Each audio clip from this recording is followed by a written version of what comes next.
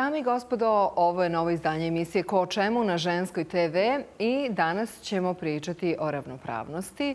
E, šta je ravnopravnost, a šta je neravnopravnost? Pre svega ravnopravnosti nas žena e, po pitanju e, posla, po pitanju privatnog života, javnog diskursa, politike i tako dalje. I zato mi je veliko zadovoljstvo što je danas sa nama e, Marija Obradović, narodna poslanica, podpredsjednica SNS-a, ali iznad svega toga inicijatorka e, ženske parlamentarne mreže, na čijem čelu si čak bila u dva saziva, je li tako? Jeste, mi se negde menjamo, ja mogu malo kasnije da ispričam o tome. Dobrodošla. Hvala. Jesmo se dogovorili da onda budemo na ti? I ovaj, još da kažem, ovaj, koordinatorka Unije žena e, Srpske napredne stranke. Srpske napredne stranke. Tako da prilično, osim drugih tvojih, naravno, ovaj, uloga koje imaš u političkom životu. Sad insistiram, sad pre nego što Nini oduzmem suviše vremena, baš smo pričali o nekim pravilima, o nekim poštovanjima, zato sam ja sad insistirala na tome jesmo li na ti ili na mhm. vi, pošto mislim da i u priči o rodnoj ravnopravnosti dosta je zapravo e, priče o poštovanju pravila, nekih kvota, nekih propisanih principa, pa eto, mhm. pričat ćemo u toku emisije o svemu tome. Nadam se da ću biti zanimljiv e, sagovornik, barem u odnosu na iskustvo koje sam imala. Kako da ne, ovaj, toliko dugogodišnje iskustvo u Skupštini je već samo po sebi ovaj, dovoljan e, razlog da te pozovemo, a ne sve ovo drugo što sam pomenula. Nina Mudrinić, e, moja koleginica novinarka i u ovom trenutku aktuelna i pozvana da govori na ovu temu baš zbog projekta koji se zove Rečnik rodne ravnopravnosti javnosti i e, u kome te podržalo Ministarstvo za rad i socijalnu politiku. E, dobrodošla na Žensku TV. Dobar dan, Snežana. Hvala ti što si me pozvala i što daješ nam mogućnost da govorimo o ovoj temi koja je veoma značajna u tom nekom, da kažem, ženskom diskursu jeste, da kažem, trend da se žene međusobno oslovljavaju sa ti, što nije u, da kažem, građanskom, ali mislim da je dobro. E, a možda je na početku dobro da kažemo ono gospođe i gospođica, to je još jedan od, da kažem, načina kako se prevazišlo diskriminacija onih koje se nisu udale. Je li tako? To je jasno, to su stara, to su stara pravila u stvari, da kažem, ali ja mislim da datiraju, da, iz iz ove, da su to stara građanska pravila. Dakle, svako je gospođa u zvaničnom obraćanju, jer je to tako pristojno. A onda je nekad bilo, jel, ako neko kaže gospođa, a vi kažete gospođice, onda mu stavljate do znanja da niste udati i tako dalje. S tim što je, s tim što je recimo, gospođa, gospođa, ja bih bila gospođa Milovanović ili bih bila gospođa Mudrinićeva, da nemam muževo prezime, da. Aha, da, jer ja znam da i ono kada se ovaj, titulira da je to sad su sve gospođi, kad se, ne znam, šalju pisme ili bilo koja druga vrsta formalne e, komunikacije. E, dobro. E, prvo da vas pitam šta je ravnopravnost, da mi razjasnimo danas ovde u Srbiji i u Evropi. A šta je neravnopravnost? Šta... Mi žene neki put e, ni ne shvatamo koliko smo u stvari ravnopravne. Ima mnogo, ima mnogo polja na kojima jesmo. Iako su nam uvek u glavi ona na kojima nismo. Pa kada pričamo o ravnopravnosti, to može biti u različitim oblastima, ali onako kao jedan opšti pojam, zaista i ja jesam lično i moj utisak na tom stanovištu kao i tvoj, da mi možda i jesmo napravili velike pomake u odnosu na to šta je bilo ranije, na poziciju žena u srpskom društvu, odnosno u Srbiji, u odnosu na to kako je bilo ranije, u svim zaista oblastima. Ali ono što o čemu uvek govorim je da je to veoma duga trka i da je pred nama mnogo vremena još gde treba da se dogovorimo sa muškarcima, dakle sa onom drugom polovinom građana u Srbiji, da zaista i budemo ravnopravne. I često ponavljam tu rečenicu koju sam negde e, pročitala, da borba za rodnu ravnopravnost jeste uglavnom ženska, ali odluka da mi zaista i budemo ravnopravne mora biti i muška. Dakle, važno je da znači, se mi negde... Znači, moraju da nas puste. Ajde, ili da nas puste, ako je opuštenje. Dobro, ajde, pusti je kad je navalila. Ili da nas puste, ili ako to njima bolje zvuči, eh, možda se to osjećaju moćnije, ili da zapravo shvate da mi i treba da delimo i polovinu obaveza, i polovinu dužnosti, ali i polovinu privilegija. I u toj celoj priči nam treba mnogo vremena da radimo i sa generacijama koje tek dolaze. Ne samo da radimo u porodici kroz vaspitanje, kroz mhm. svakodnevni život, nego naročito kroz sve sve institucije, kroz obrazovni sistem, kroz medije. Dakle, imamo mnogo tačaka gde god se nalazi e, taj mladi čovek, zapravo dečak i devojčica, a vi znate da mi negde to još i kod e, sasvim male dece počinjemo sa onom podelom ili plava ili roze soba ili tako, pa neko nađe rešenje da bude žuta soba, je li tako? Da, može i crvena i to je boja i za dečaki i za devojčice. Pa, eto, ali znači u toj priči smo bili na početku, pa da se delimo po bojama, pa hoće li to biti futbal ili lutka ili tako nešto. I to su već mali začeci kada mi dirigujemo polako našim naslednicima, odnosno deci u okruženju, da se oni uklapaju u neke kliše, u neke kalupe, da će to biti pravila u njihovom životu. Ali iskreno da bude, meni je malo nakaradno i da devojčice igraju futbal i ragbi, te neke grube sportove. Pa samo zato što... Da, treba ih dopustiti, ali... Samo zato što nismo navikli, zato što je to bilo drugačije do sada, ali da se vratim na ono priču šta je ravnopravnost. Za mene je ravnopravnost bilo u kojoj oblasti da omogućimo da postoje uslove za one ljude i žene i muškarce, jer su i muškarci negde rodno ugroženi, mhm. da ukoliko oni žele, imaju neke želje, da to njima društvo omogući, da im stvori mhm. uslove za to. Ako želi devojčica da bude futbalerka, Neka postoje futbolski klubovi u koje ona može da odlazi, ali ona sada ne može da odlazi. A ako želi da bude rudar, neka bude, neka radi tamo, ali da imamo mogućnost da bude tamo primljena. I obrnuto, ako muškarac želi da bude na nekim ženskim poslovima, uobičajenim dosadašnjim, ali vidite kako si mi još negde e, lutamo u tim terminima i pazimo jesmo li se dobro izrazili ili ne. Suština je da zapravo omogućite ljudima da žive ono što oni žele, što su njihovi ciljevi i ostvarenja. Jer ovaj, zapravo obezbeđuje i slobodu i osjećaj slobode i to je jako važno. E, Nina, e, šta je u rečniku rodne ravnopravnosti ovaj, koji si napravila kao umetnički projekat e, i kao jedan društveno bitan projekat, pa možda sa osvrtom na to da kažeš svoju viziju šta je ravnopravnost? Da, različiti sagovornici i sagovornice su dali različite objašnjenja. Naravno da je tu bio izbor na i ženama i muškarcima koji će, mislim, afirmativno govoriti o E, rodnoj ravnopravnosti i ravnopravnosti svake vrste ljudskim pravima, u što spadaju i ženska prava.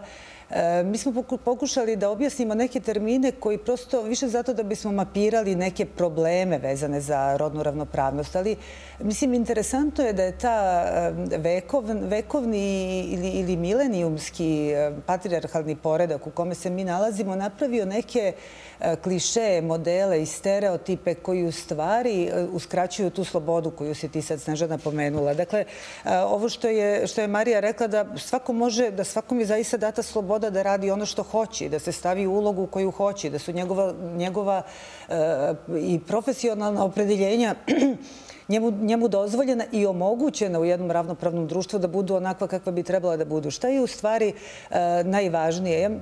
Mi smo počeli u stvari od te, od razgovora sa ženama koje su profesorke, doktorke, žene koje se bave rodnom ravnopravnošću u praksi ili čak na nekom teorijskom nivou. Imamo i koleginica iz e, filozofkinja. E, pa sam ja onda u jednom trenutku shvatila da je veoma važno da taj govor bude mnogo pitomiji, mnogo mekši i da, i da poruke treba da pošalju i žene kojim, one žene koje e, nisu samo u nekoj visokoj teoriji i koje to razumeju zaista na jedan najsubtilniji način koji često nekom ko sluša bude abstraktan, nego da to kažu žene kojima žene najviše veruju. Žene koje su njima svaki dan u kući, žene koje su njima neki idoli. Ja sam zato zaista želela i hvala tebi, Snežana, što si pristala da budeš u tom projektu. Volela bih i da Marija dođe, možda ćemo ovaj, jedan govoriti da je snimimo sada kada bude ova izložba gde ćemo imati uslove za mhm. snimanje i to nam je i neka ideja. I šta su te žene apostrofirale kao gde se one osjećaju neravno? Pa ono što je u stvari najbolnije, o čemu sam ja mnogo manje razmišljala, ja sam mislila da su to tako neke razlike koje su meni lično smetale, Pa evo u čemu? Recimo u tome da nisu bile jednako plaćene za rad, za koji su jednako kvalifikovane kao muškarci. Za to da ne raspolažu, da, da ne raspolažu jednako imovinom. Za to da ih poslodavac pita koliko imaju godina, da li planiraju da zatrudne, da li će se udavati i da, nažalost, iako je to zabranjeno, o tome Marija jednom i govorila, da ukoliko hoće da ostanu u drugom stanju i da imaju decu, oni će razmisliti da li da ih zaposle, jer ih to obavezuje da ih plaćaju, a da one budu na porodiljskom odsustvu. I niz drugih problema koji su... Ali, znaš kako, radi se o tome da država to plaća. Država pokriva preduzećima prema tome. Mislim, malo nejasno zbog čega... U praksi postoji jedan mali... E, rekla bih vakom. Dakle, u prethodnom periodu je bilo da to poslodavac zapravo isplaćuju u odloženom periodu, a država refundira kasnije. I zbog birokratije, zbog brojnih papira, tu je dolazilo do nekih kašnjenja. Mhm. Jednostavno, poslodavac je osjetio kao teret ženu koja odlazi na porodijsko, koja odlazi na trudničko, koja uzima bolovanje zbog dečijih e, bolesti i odlaska do lekara i uopšte brige o deci. I u toj priči o rodnoj ravnopravnosti ne smemo da dozvolimo da nijedna žena, to jeste cilj borbe, da nijedna žena zažali zato što je žena, odnosno ženskog roda, jer zbog toga ne može profesionalno da napreduje ili da ostvari nešto drugo u svojoj karijeri. Da, ili da zažali što se odlučila na još jedno dete, a svi sada apelujemo na borbu protiv. Pa, kad pričamo o većem natalitetu, to je vrlo komplikovana priča i u redu su ove subvencije koje se odnose na pomoć e, mamama koje budu rađale jedno, dvoje, troje i četvoro dece, jer se na tu kategoriju i odnosi pomoć novčana, ali e, ne možete samo da tražite da ona događa da pritom ne omogućite prateće servise. Ako sam ja neko koji ima bilo koju karijeru, dakle odlazim na posao, nema veze o kojoj vrsti posla se radi, neko mora da čuva moje dete. Neko mora da mi pomogne u kući, u održavanju domaćinstva, u rukovodđenju. Ne može neprestano da mama pokriva dakle, ono što su kućni poslovi i da uskladi privatni i profesionalni život. To je jako teško. Vrtići ne mogu da rade do tri ili do pet. Dakle, moraju da rade do deset ako je mamina druga smena do deset. E, uveče. Znači, mora da se to prilagodi onom radnom vremenu. Drugo, bilo je razgovora i to bi trebalo neki od narednih zakona da e, uredi, e, da se napravi fleksibilno radno vreme, dakle da mame, odnosno roditelji, mi sad pričamo uglavnom o mamama jer one se opredeljuju da brinu najviše o deci i on i njihov posao pa to trpi, ali to postoji mogućnosti za očeve. Takav je prosto naš, da kažem, običaj mentalitet. Ali se menja. Evo, meni je bilo simpatično, ima dosta od 400 zaposlenih i 250 poslanika u Skupštini, ali dakle imaju 400 službenika koji tu rade. I sad nekako proseka godina je oko 41-2 godine u Skupštini Srbije. Znači da su to roditelji ili sveži roditelji ili neko ko ima malo decu još uvek. I veliki broj ljudi mora da izostane s posla. I sad nekako se dogodio neki mali baby boom, tako smo primetili u Skupštini Srbije. E, I sve više kolege, službenici, uzimaju deo porodiljskog. Dakle, mama uzme prvih šest meseci jer mora zbog prisustva s bebi, ali drugi šest meseci mama se vraća često zato što e, ima više primanja nego što recimo ima službenik u Skupštini Srbije i mnogo je bolje da se mama vrati. E, to odgovara porodici ili ona možda gubi zbog karijere. Ako ona je bila na visokoj poziciji u nekoj mhm. finansijskoj instituciji, u nekoj banci, u nekoj mhm. ozbiljnoj kompaniji, privatnoj, e, njoj ona dosta gubi. Često žena, ono što ste spomenuli, čast vašim kolegama što su toliko sofisticirani i toliko daju svojim suprugama slobode. Ovaj. Ali vam moram reći da to na prvom mestu jesu jako obrazovani ljudi e, koji zaista ne možemo nikad poreći da sa obrazovanjem ide i neki moderni, širi pristup životu. Ne mora uvek da bude to pravilo. Ali to su dosta mladi ljudi, znači koji imaju od 30 do 40 godine. I meni je jako drago što mi podstičemo i uvek govorimo o tome i zaista e, želim da stalno u Skupštini pričamo o tome u međusobnim razgovorima. To je ta promena mentaliteta. Mhm. Kada vi vidite da je petorica mladih službenika, dakle negde do svoje 42. treće, odlučila da podeli porodijsko sa svojom suprugom i da on, taj neko brine kasnije o detetu dok je mama naravno na poslu. Su se tako dogovorili. To je pravi princip da se poštuje rodna ravnopravnost, ali to je tako u začetku u Srbiji. Ali treba da se govori o tim primerima, da postoje neki normalni muškarci. Mm. Da budem bezobrazna. Dakle, to nije nikakav papučar, niti nikakav tunjavko. To je čovek koji poštuje osobu, suprugu, majku svog deteta i partnerku i želi da pomogne. Na kraju očevi uživaju odgajanju djeca. Mnogo više od toga je u stvari to što on svom detetu posvećuje vreme, što je veoma zdravo i za dete dokazano naučno, zdravo i za njega. Mislim, to zbližavanje, šta će ta lepše? To zaista mislim da je potpuno normalno. Nažalost, da je to kod nas još sad gledaju, izvinite, verujte mi, ja sam sigurna da sad ima muškaraca koji ovo gledaju mhm. ili žene i koji se prvi put sreću sa ovim pojmovima o kojima smo mi sad pričali, da može da se podeli porodiljsko i da može da se traži fleksibilno radno vreme. Znači, tražite o tome neka vaša porodica, deca budu neki prioritet, a sada me gledaju i poslodavci koji će reći super, lepo ste vi to zamislili, ali to se sve odražava na moj kapital, na moju zaradu. Ako ja budem puštao toliko da oni odlaze, šta će biti sa mnom? Pa ja i tekako ću da pitam da li će rađati još jedno, dvoje ili troje. Jer ako mu je bitna karika u sistemu, da onda... I tu dolazimo da država mora zaista da podstakne firme koje su osetljive na te teme koje imaju osjećaj za mlade roditelje, za fleksibilno radno vreme, za prilagodljivo.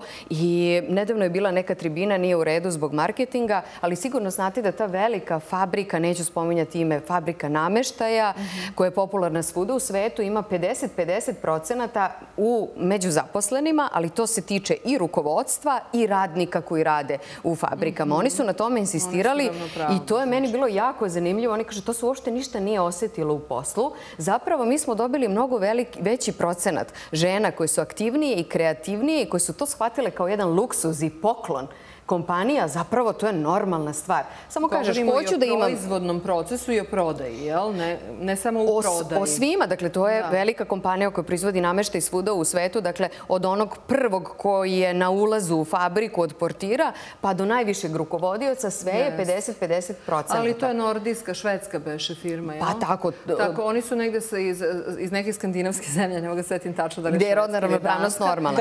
Ali oni to isto radi i u Srbiji. Pa da, da, da. Dakle, moguće i u Srbiji, među srpskim radnicima uraditi sve to. U ovom slučaju miriše od glave, pa od gore iz Danske do ovde do Ali treba o tome da pričamo i da kažemo ljudima da je to normalno, da nije teško organizovati sve to. Treba da samo razmišljate na taj način i država naravno da pokaže, um, ja kad god e. mogu, ja se borim za to, da država pokaže osjećaj i za te kompanije, i za te privatnike koji žele. Ovo što vi mhm. radite sa rečnikom rodne ravnopravnosti, jako lepa priča kod pomeranja mentaliteta ljudi, da oni to vide nekako na jednom mestu, nikad ne znate kome će se upaliti lampica.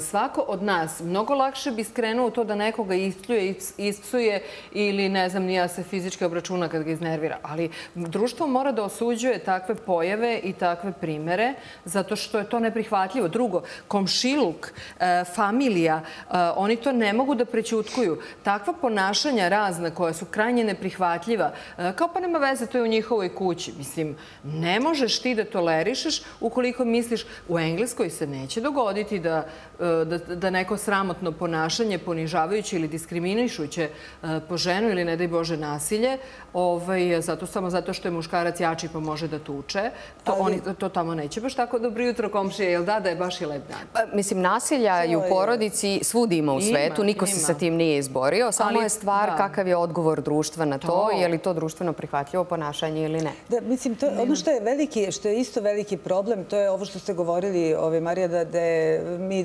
još u osnovnoj školi ili u vrtiću, u slikovnicama, ne znam, mama kuva, tata radi i tako su već kako prikazane te rodne uloge. Mislim da su dva problema. Jedno, zaista je ženi nametnuta uloga neke žrtve, da ona trpi u svakom slučaju. Od toga da ona mora nekad da iscrpi batine, do toga da ona mora da iscrpi, ako se, ne znam, kako se kaže kod nas, dobro uda, e onda sad ti zna se šta treba da radiš. Ajde, čuti, nemoj da mi odgovaraš. Mnogo pametnih muškaraca ima tu repliku, što je za iznenaditi se. Kad je šta mi odgovaraš? Mislim, pametnih obavljena. A pa, možda ide nastavak, ne mogu više da se e, ovaj, nadgornjavam sa tobom.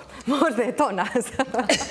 Pa ima ovaj, još nešto što mi se čini veoma važno. Ovo što ste rekli sada za... Ja sam recimo upoznala ženu koja je posle ovog programa da će mame dobijati stimulans ako rode treće dete, mhm. odlučila da rodi treće dete. Znam ženu, poznajem je, znači jednu mhm. medicinsku sestru. I meni je to bilo veoma lepo, jer ja mislim da ne može samo taj individualistički pristup, kao mi moramo sami da radimo na sebi, mi moramo, svak mora se sebe da menja, da pravi pomoć. Mislim, to je isto surovo. Država služi tome da služi tome da. postakne, da nekako pomogne, da ulije neku nadu, da bez obzira koliko je teško, ja mislim da je ovo recimo da imam pomoć, kao i zakoni koji su doneseni, kao vi ste uradili zaista neke stvari koje su ovaj, evidentno nešto promenile. Ja mislim da je to veoma važno. Meni je taj recimo... Nema ničega preko noći, posebno ovako krupne teme, gde se vide rezultati tek za desetak godina. Ne možete vi, mi smo sad uveli mere, pa ćete za dve godine proveriti da li su dobre mere nataliteta, uopšte tako veliki demokratski procesi ne mogu da se ocenjuju u kratkim periodima, ali je važno da stalno pričamo i zaista se mnogo o tome govori i ljudi zaboravljaju da sad ne zamaramo brojkama mnogo ljude, ali rodna ravnopravnost nikad nije, uvijek je bila neka dekorativna tema ili onako što vi kažete, bavio se neko teorijski na nekom naučnom nivou. Ali mi sada imamo koordinacijono telo za rodnu ravnopravnost u vladi Srbije. Dakle, na nivou potpredsjednika vlade. To ranije nije bilo. Dakle, znači to se pomerilo kao prioritet ka vrhu vladinih. Ne samo u smislu brojnog stanja poslanika u Skupštini, jel? Pa rodna ravnopravnost je zapravo u svim oblastima. I koliko nas ima brojčano na određenim mestima i naravno kvalitet uslovi rada i života i muškaraca i žena na različitim mestima. Vi imate u ženskim firmama, da se sad ljudi ne shvate, um, jer posle neke od emisija koje sam govorila, javio mi se upravo muškarac. I evo sad ću da vam ispričam. On je medicinski tehničar. Dakle, medicinskih sestara naravno da ima više nego muškaraca u toj vrsti posla. Čovek se javio i obrazložio da se godinama bori za to, da se na formularima, da ne piše medicinska sestra i da se on potpisuje ispod, jer kaže ja sam medicinski tehničar, neću da se potpisujem kao medicinska sestra, neću da me zovu sestro, ja sam muškarac. I taj čovjek također ima pravo da zaista dobije na formularu medicinski tehničar, je li tako? I muškarci, dakle, imaju tu mogućnost da se i oni ispoštuju u toj meri. Sa druge strane, zaista bi za neke vrste bolesti bolje bilo kad bi bio muškarac, nego možda su oni sa manje empatije, prosto je prirodno možda u ženskoj prirodi da bude negovateljica pre nego u muškoj. Ali vi zaista imate pacijente koje treba okrenuti, podići. Ne, u stereotipu, naravno. Pre su oni, pre bi oni mogli da... Muškarac za tako nešto imao više snage nego medicinska sestra. Pa, ženama su ostavljena ta zanimanja i to je ono što je uvek se i govori u ženskom rodu. Znači domaćica, negovateljica, spremačica, mislim, to je uvek moglo.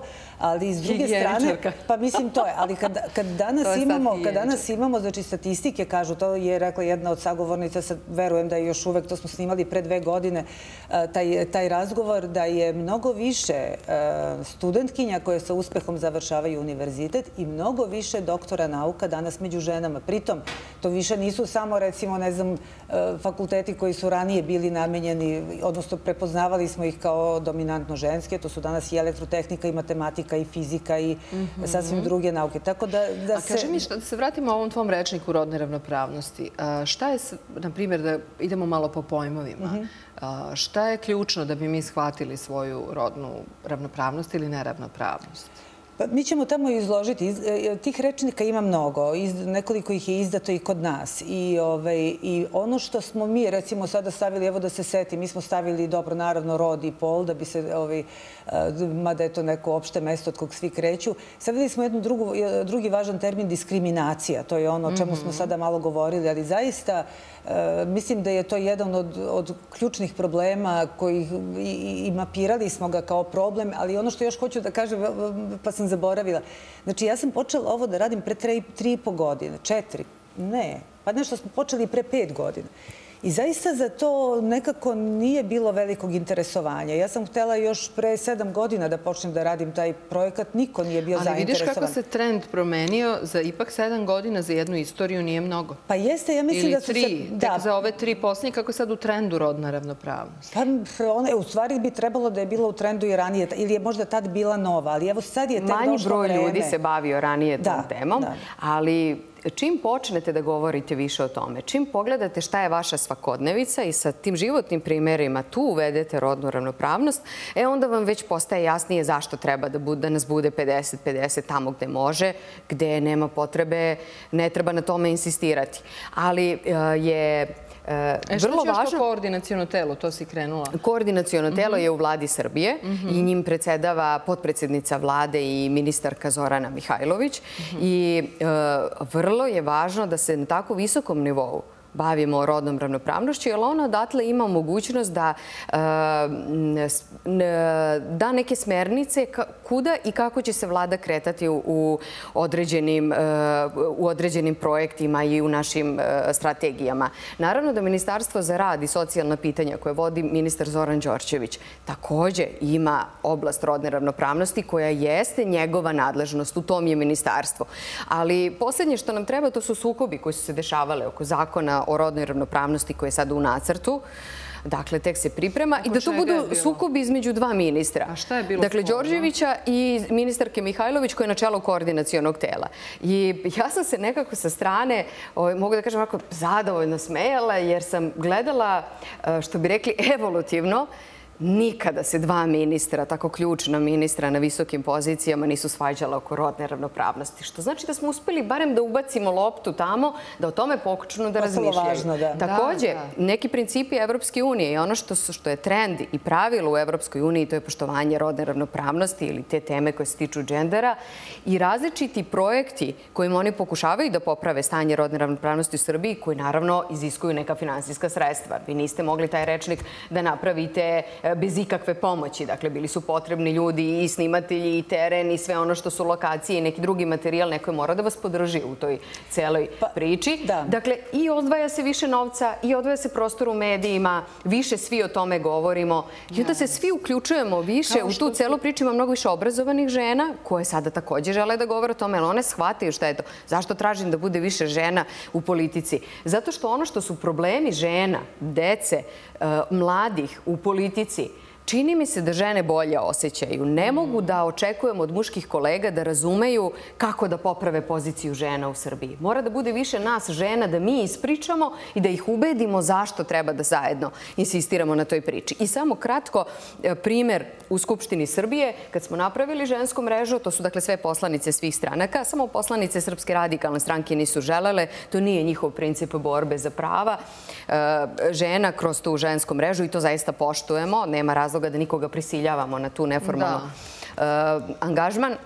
Dakle, kad smo se tu udružile, naš prvi rezultat je bilo ukidanje zastarevanja e, krivičnog dela seksualno zlostavljanje maloletnika. To je jako lepa priča. Dakle, decenijama se Incest Trauma centar borio da se ukine. Do tada je u Srbiji bilo šest godina po počinjenom krivičnom delu. Dakle, ako zlostavljaju dečaka i devojčicu u njegovoj četvrtoj, petoj, desetoj godini, taj ne može do 12 ili 16 biti sposoban ni psihički, ni socijalno, ni moralno da izdrži težak sudski proces i da progoni svog, da ga goni zapravo, ne progoni. Niti da ga čak prijavi možda. Nema mogućnosti, jer najčešće živi sa tim nasilnikom. Tako da je bilo važno da se ukine to zastarevanje od šest godina, jer negde tek u svojoj 40. i 50. žrtva bude sposobna da e, se osnaži i da se osmeli da uđe u taj težak proces i da nasilnik bude priveden pravdi, jer su to zaista strašni procesi. Mislim da ta prva akcija, kad su ljudi shvatili da su žene iz različitih stranaka zajedno glasale da se to ukine. U to vreme je Nebojša Stefanović bio predsjednik parlamenta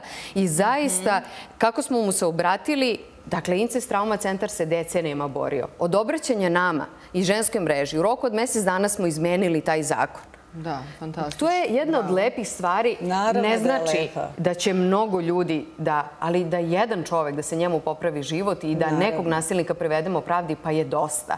Ima mnogo lepih stvari gde mi možemo da se udružimo u politici, ali ja ne mogu da očekujem da tu muškarci, oni uvijek hoće da pomognu, ali da oni budu nosioci inicijative. Morate da. Znate kako je, Mare? Vrlo često se neki konstrukti stavljaju u kontekst tradicionalnog ponašanja i onda imate tu situaciju da recimo neke žene ili neko ili neka stranka ili nije bitno, neće da Eh, ne znam, učestvuju u tome, zato što to, ja mislim da je to zato, mislim da je to iz neznanja. Ja imam lično iskustvo, ja isto nisam znala mnogo o tome. Imala sam potpuno drugačiji stav prema životu i prema rodnoj ravnopravnosti i prema ženama i ulozi žene u društvu. I mislim, ja sam da to izmišljaju neki že šta im je, mislim, šta hoće, pa šta im fali, evo svi šta radimo. Prvo, nismo svi u istoj poziciji. Mislim da čak mi možemo da kažemo da se nalazimo u situaciji nekog, da kažem, relativno uspešnog života, kvalitetu. Živimo u gradu, u urbanoj sredini, imamo sve što nam je potrebno, bar osnovno zadovoljeno. Da, topla voda, toplo kupatilo. Zaboravili smo kako je bilo sa ženama koje kada se udaju, ako je Miražđika, otac da svoje imanje zetu, znači ona nema pravo da raspolaže ni svojim imanjem, to nije bilo tako davno, kad je to bilo. Još se to dešava. Ne raspolaže svojim imanjem, imanjem svog oca, ne raspolaže svojim mišljenjem. Ono je neko biće kao malo umno koje koje taj muž vodi kroz život bez obzira na to da li je sposoban ili nesposoban. Mi imamo u klasičnoj literaturi, imate to kod Tolstoja kad propadne onaj grof, a imao je najbogatiju ženu jer nije umeo da rukovodi imanjima, ona naravno nije imala prava nikakva. Pa onda kad kažu, ne znam, nema ženskih pisaca, nema ženskih slikara u istoriji, pa nema zato što su žene zaista bile Što kaže Simone de Beauvoir, drugi pol. I neko to još uvek, ko nije za ravnopravnost, taj ne razume u kakvoj užasnoj poziciji je žena bila i koliko je ona i danas vrlo često neko drugi drugo, drugo, neka drugost koje se možda ovi sa pozicije moći često i plaši i ne žele da daju te svoje pozicije, mislim i da drži ih čvrsto. I s druge strane, koliko svet koji je manje ženski, u kom manje žena učestvuju, u stvari je manje ljudski. To je, mislim, da. Nina, htjela sam da prokomentarišemo, pa ću onda Mariju da pitam ovaj, žena u politici. To uopšte nije jednostavno. Težak je to posao i dalje prilično muški, ali žene ga osvajaju i čak i po zakonu mora da ih bude 30%. E sad, kaži mi o stereotipima malo kako se žena i dalje tradicionalno prikazuje kod nas ono u kuhinji, kako ona uživa u tome dok priprema hranu. Sve reklame su uglavnom to. Tako je to predivna jedna prezadovoljna žena koja pa iznosi na trzezu. Sve su žene mnogo lepe pre nego što. Sve su mnogo lepe u reklamama i taj stvarno diktat, dobro, diktat mladosti. One nemaju ni celulit. Žene su, ne, da, nenormalno lepe. Iako jedu kobasice Nedostižno lepe. Ali one su i dalje vitke. Suština je da je, ja mislim da je ta uloga zaista zabrinjavajuća i mislim da žene na to vrlo često ne bi trebalo da pristaju. Ozbiljno. Mislim, prvo, i to kažu neke naše sagovornice u, baš u, u ovoj seriji, da su žene najčešće u medijima prikazane kao potrošačice, vrlo često skupih stvari koje, mm. koje kupuju muškarci. One reklamiraju, ne znam, automobile, skupe satove, ne znam, mm -hmm. tako ne neke dobre, skupe destinacije. Zatim Zato što i one idu kao dekoracija u sve skupe. pa to je, da, da bi, pa to, one su, znači, ili su prikazane veoma atraktivno, onako seksualizovane, pa vrlo često, nažalost, čak i pornografski prikazane. Sve to gledaju i naša deca, mislim, svakodnevno. I u časopisima i na reklame za sladoled e, sa jednom našom veoma poznatom ovaj, seks simbol pevačicom koja liže onaj sladoled u onoj reklami a on se zove nešto tako također. A on je proizvod za decu. Pa ima, za decu, naravno, deca su najveći konzumenti slava. Rekla je tvoja jedna koleginica... Neću da prozivam dotičnu pevačicu, ali ona je imala i procurio u javnosti njen kućni video. Tako da mislim, kako da kažem, je poruka te reklame bila vrlo lascivna. Pa to je, i nije samo to. Mislim, ima, ima drastičnih primjera, naravno. Rekla je tvoja koleginica kako je naša jedna mislim, kuća koja ima svoj sajt sa nacionalnom frekvencijom. U stvari, ona je rekla pa će to biti tamo, mogu i da kažem, javni servis držao, držao reklamu devojke u špagi, mhm. neke sportiskinje i onda je tekst ispod bio prijanja na svaku podlogu, a reklama je bila za gume, automobilske gume. Jo, a ja sam mislila za uložak. Raznih zloupotreba, zaista užasnih što gel nije tečan. Ali mislim, ta vrsta seksualizacije žena koje su danas u medijima ili tako neki objekti, lepote i krasote, pitanje je koliko ukusa, mislim, i kakva je to estetika koja se tu diktira i sve.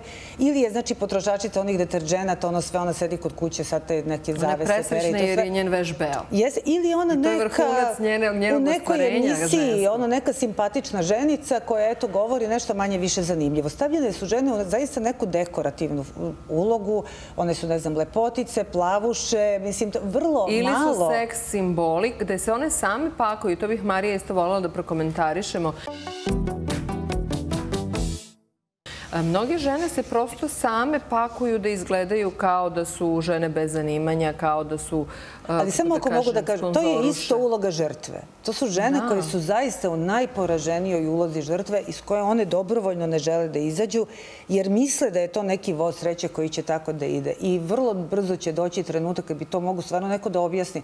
Kada kada će doći neke druge isto takve ili ne znam šta i šta će one da rade sa svojim životima. Mislim, to stvarno nije dobro. Meni je te žene žao. Zato što mislim, kako će izgledati sa svim tim atributima u 60. One veruju da muškarac koji će nju, ovaj, koji će učiniti srećnom, a da ona u tome Ali zamisli taj život sad, šta je to i u šta se to pretvara i kako će taj život da izgleda. To sad vraćamo na ono priču o vaspitanju i obrazovnom sistemu. Gde I o insistiranju na nezavisnosti žene i na njenom... Na njenom pa svako bira neki model, šta bi želeo i teo u životu da bude i sad neke modele ponavljate iz svoje porodice, dakle ili roditeljske ili nešto iz svog okruženja i neka nekad smo zaista, evo ja imam 40 i nešto godina, meni je učiteljica zaista bila neki idol. Dobro, ja sam možda iz nekih baš dalekih vremena. Pa i meni je bila znači, neki profesor, neka učiteljica, dakle neko ko je zaista bio cenjen u društvu, a vi danas teško da možete da nađete takve idole koje cenja zbog svog znanja, rezultata rada i nekih postignuća. Idoli su uglavnom... Jedino sportisti, njih nekoliko poznatih koji su idoli, a ovo drugo, evo reći. Jeste, ali i ti sportisti se sada nude u maksimalno prihvatljivom pakovanju. Dakle, vi ćete teško vidjeti neku sportiskinju onako rogobadnu, trenerci, stalno sa vezanom kosom, kako ona neprestano tako hoda i tako se ona nudi. I ona je stilizovana, ili je to bolji, e, ona je proizvod. Danas je sve, ne samo u Srbiji, svuda u svetu, sve je proizvod. I ako niste dopadljivo pakovanje, ne znam koliko konzument ima vremena da prodre do vaše suštine. On vidi lepo pakovanje. I on su svi odlučili, čekaj, lakše mi je da budem lepo pakovanje, ja ću posle da objasnim ko sam ja. Ali ovo mi otvara vrata. Ali zato što se slabo u medijima i u tom obrazovnom sistemu, dakle, govori o tome da nije sve pakovanje u životu. A šta kad i te lepotice koje su dobile neko pakovanje u vidu svog partnera, supruga, dečka, nekog na koga su htjele da se osnovno životu raspakuju, pa vide da ni on nije pakovanje koje su oni mislili da jeste. I onda ulazimo u zaista velike životne drame i zaista se svi razočaramo u neke priče koje smo za sebe zamišljali, ali, znate, to sad se vraćamo na ono vaspitanje u porodici. Ako su roditelji govorili, sine, gdje si tako krenula, kakvu poruku šalješ o sebi, zašto imaš takve nokte, zašto tako kratku suknju, ne možeš u osmom razredu da izgledaš na taj način sa tako jakom, imaš vremena šminkati se cijelog života, ali ja ne znam da li to govore danas roditelji, ja nemam čerku, pa ne znam. Ti ako se prikažeš muškarcu kao seksualni objekat, pa kako onda očekuješ da te on poštuje? Ne, on u tebi vidi samo primarni onaj njegov instinkt prema tebi koja si se upakovala tako da ti se vide svi e, seksualni atributi i on naravno razmišlja samo je u jednom pravcu u vezi sa takvom ženom. Ali vidi, ti si govorila u ovom, u ovom, u ovom našem e, projektu, je Snežana govorila nešto interesantno. To je da je e, o tome kako je e, diktat šera, diktat rejtinga došao, doveo, mislim, televizijske projekte do jednog besmisla, gde zaista je pitanje da li mora da se podilazi najnižem ukusu. A s druge strane, i žene su često nažalost, i žene često konstruišu, prave mizogine konstrukte, ne samo u medijima, nego i inače. Ja verujem da se vam, odnosno tebi, rekli smo da ćemo biti da ti, da se tebi dešavalo da te i žene ne podržavaju, da ne mislimo, e, ajde nas tri da budemo zajedno, svako je u nečem bolji, hajde da budemo zajedno, bit ćemo još bolje, nego šta je sad ona, što nam ide na živce, što je ovakva, šta glumi. A što baš ona, sigurno. E, to je pogrešno žene treba da podržavaju jedna drugu. Da, tako je. Žene, po mom mišljenju, nisu dovoljno solidarne, a vi mi recite svoje mišljenje. A recimo, Olivera Kovačević, urednica zabavnog programa Radio Televizije Srbije, jednom prilikom je ovde bila i ja je pitan pa koji su najčešći stereotipi, eto tako za uspešne žene TV-u, pa kao ona je sigurno uspela preko kreveta.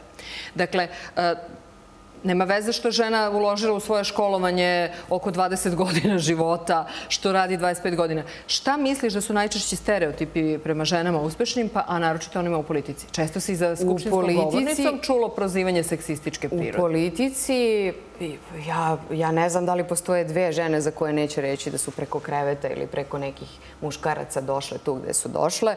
Ja ne znam da li će neko da kaže ona isključivo zahvaljujući svom trudu i radu. Može će reći ljudi iz njenog okruženja koji je znaju i koji prate put kojim je ona prošla. Ali će uvek biti priča, ma nemoguće je da ona još u politici.